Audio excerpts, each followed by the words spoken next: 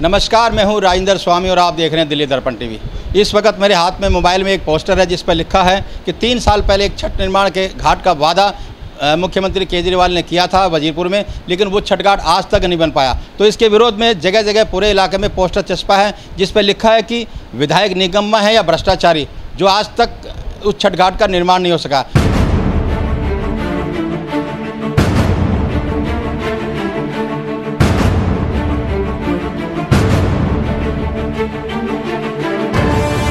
तो हमारे पास सतीश गर्ग मौजूद है हमारे स्टूडियो में, जो इन सब पे बात करेंगे।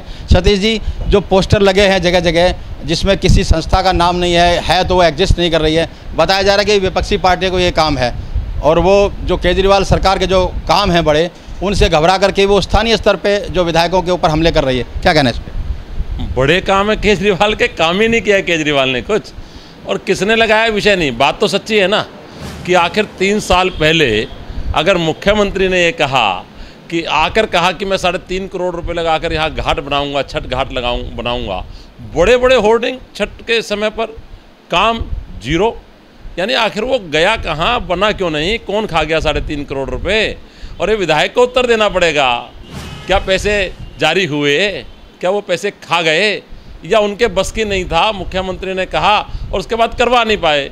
हमारे लिए एक ही बात है। और ये बहुत बड़ा विषय है और निश्चित रूप से विधायक निकम्मा भी है और भ्रष्टाचारी तो पूरी सरकारी है। इसके अलावा एक पोस्टर और मैं आपको दिखाऊँ जिसमें प्रदूषण को नियंत्रण को लेकर के जो केजरीवाल सरकार पे हमला किए गए बहुत सारे इस तरह के पोस्टर हैं। इनमें भी किसी का भी नाम नहीं है। विषय नाम बगैर नाम पार्टी के अंदर विरोधी बाहर विरोधी बात की सच्चाई कितनी है इस बात को समझना चाहिए। गडकरी जी ने पेरीफेरल रोड बनाया उसके कारण से बहुत बड़ी संख्या में आज के दिन यहाँ पर वाहन नहीं आ रहे हैं प्रदूषण कम हुआ। अब सरकार कह रही है नहीं साहब ऑड इवन चालू करेंगे। कर लो भाई आपको जो मन में आए तो तुगलकती फरमान दे लो। अ, पहले ये बताना पड़ेगा कि व्हीकल से अ, आपको लगता है पोल्यूशन हो रहा है या जाम से हो रहा है? अगर वो जाम से हो रहा है तो इसको छूट इसको छूट इसको छूट इसको छूट फिर छूट किस बात की? अगर जाम से हो रहा है तो कोई भी व्हीकल है वो जाम लगाने वाला है। और अगर पोल्यूशन से हो रहा है अच्छा, तो फिर आपको समझना पड़ेगा कि आखिर पोल्यूशन का जिसने सर्टिफिकेट ले रखा है फिर उससे पोल्यूशन कहाँ है? तो ये मनमर्जी की सरकार है। एक जो आरटीआई का एक पर्चा भी वायरल हो रहा है इलाके में जिसमें लिखा गया कि विधायक ने अपने फंड से बहत्तर लाख रुपए के बोर्ड अपने इलाके में लगाया क्या आपकी जानकारी में है? आप, आप मुझे कुछ लोगों ने बताया है कि जब कुछ काम ना करे तो, तो कहते हैं ना थोता चना बाजे घना। बड़े बड़े बोर्ड लगाना पीडब्ल्यूडी से लगवाना। बहत्तर लाख रुपए सिर्फ़ बोर्ड लगाने पर खर्च कर, अरे भाई, कहाँ है सरकार, कहाँ है काम?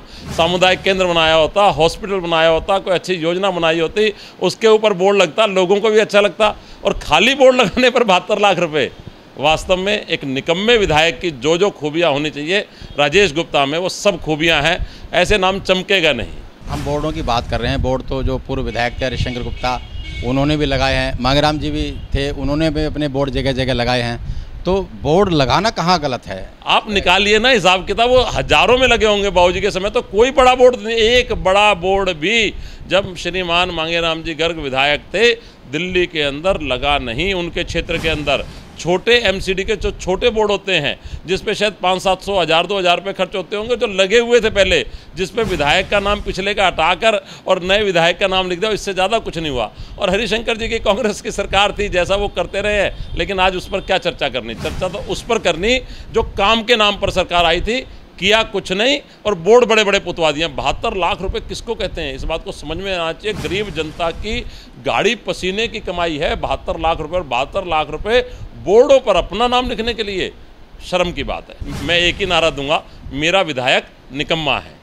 तो बिल्कुल आपने देखा कि जो दिल्ली सरकार की जो बड़ी बड़ी योजनाएँ हैं उसके जवाब में जो अ, जो स्थानीय इकाइयाँ हैं बीजेपी की या विपक्षी दलों की वो स्थानीय विधायकों पर हमलावर हो रही हैं और उनके जो आ, काम है विकास कार्य का जो दावा करते हैं उन दावों की फोल कर रहे हैं साथ ही साथ उनके ऊपर भ्रष्टाचार के भी आरोप लगा रहे हैं। कैमरामैन योगेंद्र के साथ राजेंद्र स्वामी दिल्ली दर्पण टीवी।